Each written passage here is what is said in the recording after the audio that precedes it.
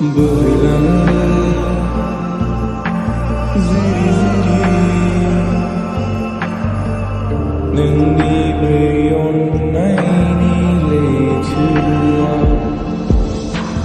cứ giờ lắng bana badi